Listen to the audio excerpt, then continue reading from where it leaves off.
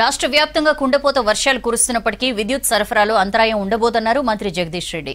వందేండ్లలో ఎన్నడూ పడనంత వర్షపాతం నమోదైనప్పటికీ రెప్పపాటు అంతరాయం లేకుండా సరఫరా అందించిన ఘనత తెలంగాణ విద్యుత్ సంస్థలకే దక్కిందన్నారు. వర్షాలతో అధికారులు అప్రమత్తంగా ఉండాలని ఆదేశించామంటున్న మంత్రి జగదీష్ రెడ్డితో ప్రేమ్ ఫేస్ టు ఫేస్.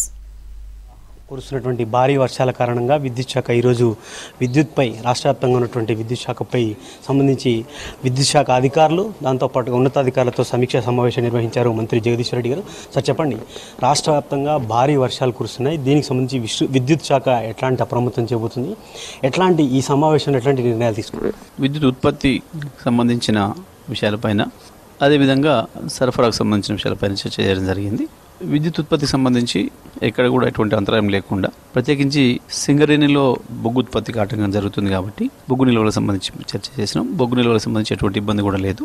నెల రోజులకు సరిపోయే నిల్వలు ఇప్పుడు మా దగ్గర ప్రతి ప్లాంట్లో కూడా పెట్టుకోవడం జరిగింది. ఇక సరఫరా పంపిణీకి సంబంధించిన విషయాలలో వచ్చిన వరదలు వర్షాల వల్ల చిన్న చిన్న అంతరాయాలు ఎక్కడన్నా ఏర్పడ్డా సరే వాటిని కూడా వెంటనే పునరుద్ధరించగలుగుతున్నాం. ఇప్పటికి ఎన్పిడిసిఎల్ ఎస్పీడీసీఎల్ పరిధిలో దాదాపుగా పోల్స్కు సంబంధించి దాదాపు రెండు వేల పైన పోల్స్ డ్యామేజ్ కావడం జరిగింది. దాదాపుగా పదహారు పదిహేడు వందల పోల్స్ను మేము ఇప్పటికే మళ్ళీ పునరుద్ధరణ చేసినాం. ఎక్కడ కూడా విద్యుత్ సరఫరా సరఫరాకు అంతరాయం లేదు. అక్కడ ఆ మిగతా చోట్ల కూడా ప్రత్యామ్నాయ పద్ధతుల్లో నిమిషాల మీదనే విద్యుత్ సరఫరా చేస్తూ ఉన్నాం. కేవలం ఒక భూపాలపల్లి జిల్లాలోని సర్వాయిపేట అనే ఒక sub station thirty by eleven KV sub station ఒకటి మాత్రమే ప్రస్తుతం బ్రేక్ డౌన్లో ఉంది. ఆ చిన్న ప్రాంతంలో మాత్రమే విద్యుత్ సరఫరా ఆటంకం ఉంది.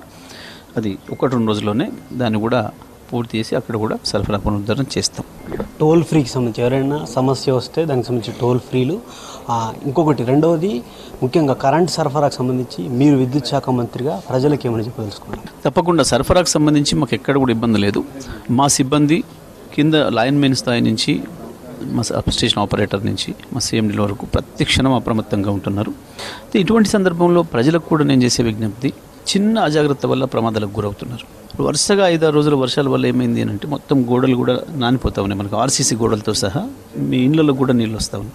ఇవాళ ఒకసారి స్విచ్ చేసేటప్పుడు కూడా ప్రమాదం జరిగే పరిస్థితి మనకు కనబడుతుంది. ఎందుకంటే నీళ్ళు వస్తూ ఉన్నాయి లోపటి నుంచి. చిన్న జాగ్రత్తలు. కనీసం స్లిప్పర్స్ వేసుకోకుండా దాన్ని డీల్ చేయడం దాన్ని చూసుకోకపోవడం. షార్ట్ సర్క్యూట్కి అవకాశం ఉండే వాటిని ఏమవుతున్నాయో వాటిని చూసుకోకపోవడం చిన్న జాగ్రత్తలు పాటించకపోవడం వల్ల ప్రమాదాలకు గురవుతున్నారు. తప్పకుండా మీరు విద్యుత్తుతో డీల్ చేసేటప్పుడు మీ ఇంట్లో లైట్ వేసుకోవడం కొరకు కావచ్చు మీ ఇంట్లో ఏదైనా వస్తువు వాడుకోవడం కొరకు కావచ్చు విద్యుత్తును వినియోగించేటప్పుడు ఒకటి రెండు సార్లు చూసుకోండి జాగ్రత్తలు తీసుకోండి తప్పకుండా. తనే జిఐ వైర్ కడతాడు సర్వీస్ వైర్తో పాటు స్ట్రాంగ్గా ఉండడం కొరకు. ఆ జిఐ వైర్కు కొన్ని సందర్భాల్లో పవర్ వస్తుంటుంది. దాన్ని ఒకసారి ఇట్లా మీరు టెస్ట్ చేసుకొని చూస్తే అర్థమైపోతుంది. మీరు ముట్టుకోరు. అది మిమ్మల్ని ప్రాణం కాపాడుతుంది. ఇంత చిన్న చర్యలు కూడా తీసుకోకపోవడం వల్ల దెబ్బతింటున్నారు ప్రాణాలు పోగొట్టుకుంటున్నారు. అది చాలా దురదృష్టం. ఈ విషయంలో ప్రజలకు నేను విజ్ఞప్తి చేస్తూ ఉన్నా విద్యుత్తుతో డీల్ చేసేటప్పుడు మీ ఇంట్లో స్విచ్ బోర్డుల పైన స్విచ్ వేసేటప్పుడు కూడా జాగ్రత్త చూసుకోండి.